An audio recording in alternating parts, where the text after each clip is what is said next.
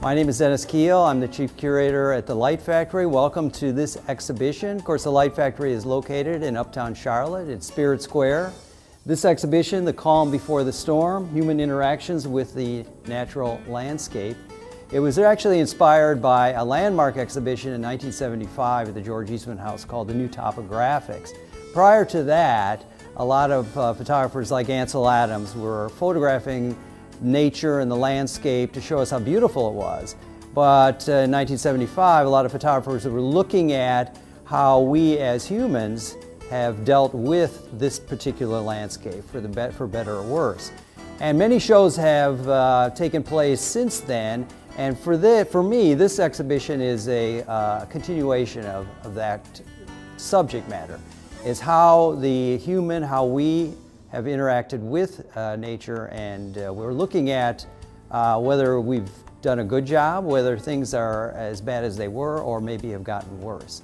Uh, this show, uh, this show consists of four photographers, each photographer who has looked at that, this subject matter in, in a different, but in many cases, uh, a similar way.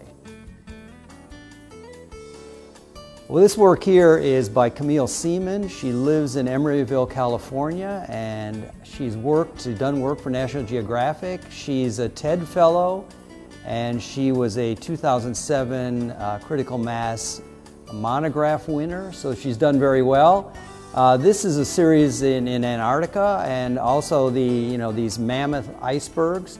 And so what's really great about these is that they are very, very large. It almost makes you feel like you're right there with these very dramatic icebergs. What she's done in this particular piece, which I think is, you could say is sort of a 19th century um, uh, effect, is that she has people walking to the iceberg, so it gives it scale, so it makes it even look, will make you think it's even larger than you may have imagined had you not seen these, these people.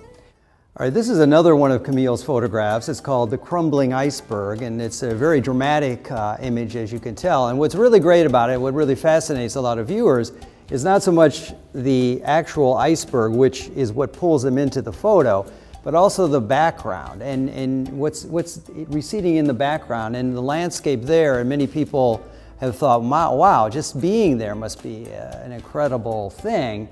Um, and one of the, what, that's one of the approaches that Camille does, which fits in really well with the theme of The Calm Before the Storm, because she creates an, initially a beautiful image that draws you in, and the more you look at it, you realize that these icebergs are actually melting. And this is a series called The Last Iceberg.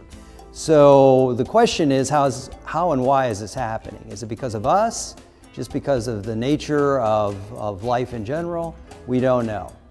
Uh, one of the things about this series uh, is that you really need to see them in person because as you can tell right here, they are very large. And uh, so you should come to the gallery here at the Light Factory to see the work um, in the flesh, more or less. I encourage you to come to the Light Factory to see the exhibition. It runs through May 6th. I encourage you to see the work of all the artists, especially Camille Seaman. You must see this work in person. And also, Camille will be here March 22nd to lecture at UNC Charlotte's main campus. It's at 7 p.m. For more information, go to our website at www.lightfactory.org.